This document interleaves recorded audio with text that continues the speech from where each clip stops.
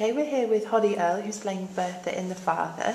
Um, today's the first proper day of tech rehearsals for all of you guys. Um, so can you tell us a little bit how it's going? Oh, it's going really well. It's really exciting because it's my first, um, it's my stage debut, so Yeah. uh, my first ever tech rehearsal. Yeah. Okay. really well. Is it all a bit mad or is it quite calm? It's a mixture. Yeah. It's calm when you're off. It's mad when you're on.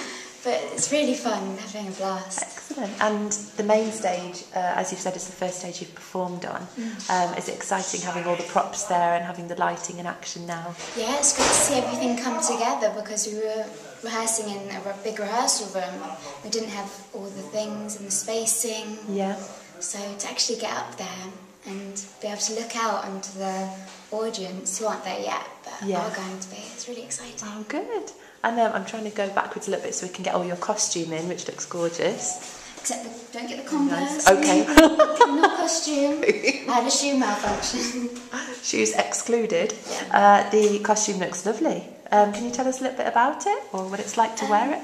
It's very comfortable, which is great, and nice. very airy because it can get a bit hot. So Yeah. It's very good. This is one of two costumes, um, and it appears in a scene where, she gets up a bit frightened out Yeah. of bed. hmm So and she goes to talk to the nurse. Okay. So what scenes have you been rehearsing today?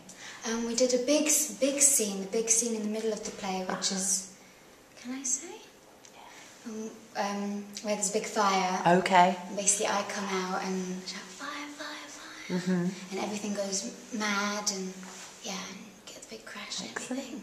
And can you tell us just a little bit about your character, who's the daughter, kind of in the middle of these warring parents? Yeah, she's um, Bertha's on the cusp of becoming an adult herself. I mean, she's a child, but because in that period of time there was no teenager, hmm it's kind of she, she's kind of flipping between the two, and I think that's where the struggles come from, and having her parents arguing.